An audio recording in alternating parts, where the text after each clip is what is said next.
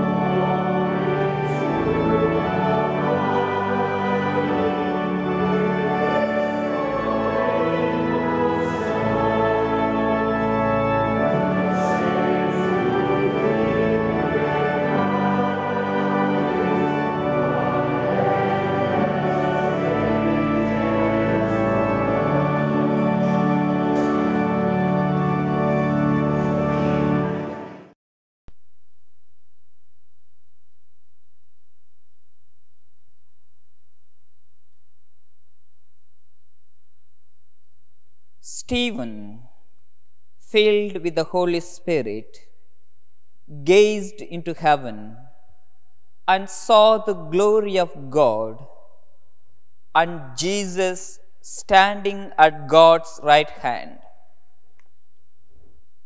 Look, I can see heaven thrown open, he said, and the Son of Man standing at the right hand of God all the members of the council shouted out and stopped their ears with their hands. Then they made a concerted rush at him, thrust him out of the city, and stoned him. The witnesses put down their clothes at the feet of a young man called Saul. As they were stoning him, Stephen said in invocation, Lord Jesus, receive my spirit.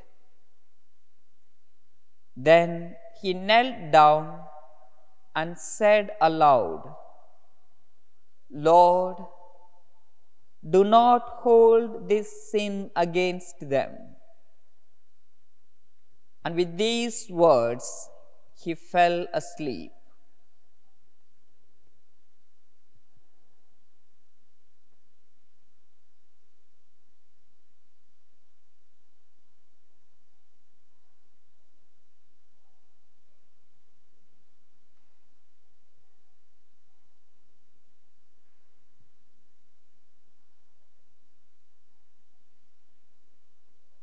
If the gift of counsel teaches us how to act, then fortitude is the gift which gives us the strength to carry out those actions. It is often called courage, but it is different from much of what we think of as courage today. For it does not lead us to seek danger for danger's sake. It is not foolishness or recklessness, bravado or provocation. No. It is the gift which allows us, firstly, to recognize when it is right to make a stand, to put our head above the parapet, and then to overcome fear and to remain steady in the face of opposition. Am I prepared to take a risk for God?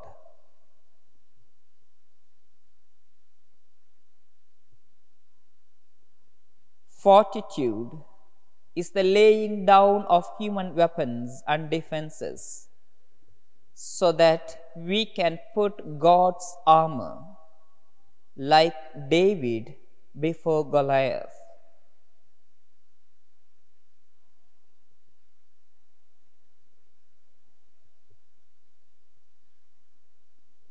Prayer.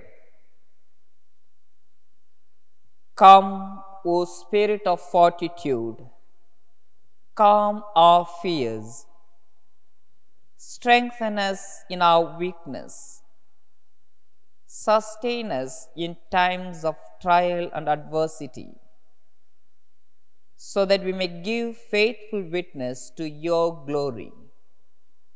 Amen. Renew your wonders in this our day, and by a new Pentecost, grant to your church that being of one mind and steadfast in prayer with Mary, the mother of Jesus, and following the lead of blessed Peter, it may advance the reign of our divine Savior, the reign of truth and justice, the reign of love and peace. Amen. Come, Holy Spirit, fill the hearts of your faithful, and kindle in them the fire of your love. Send forth your Spirit, and they shall be created, and you will renew the face of the earth. Let us pray. O God, who by the light of the Holy Spirit did instruct the hearts of your faithful, grant that by that same Holy Spirit we may be truly wise and ever rejoice in your consolation. Through Christ our Lord. Amen. In the name of the Father, and of the Son, and of the Holy Spirit. Amen.